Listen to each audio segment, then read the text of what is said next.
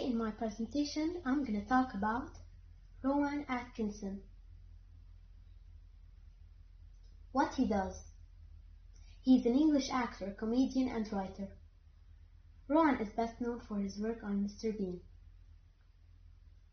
He was listed as one of the funniest actors in British comedy in 2007 and among the top 50 comedians ever.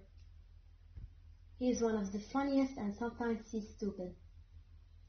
Rowan rarely speaks, and when he does, only a mumbling voice comes out. Why is he famous? He is famous because Mr. Bean is understood in all corners of the world.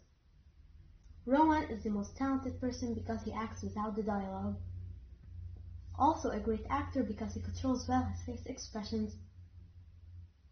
Also he is famous because he is well known for making people laugh, including myself. What do I like about him? I think he is amazing in the cartoon episodes.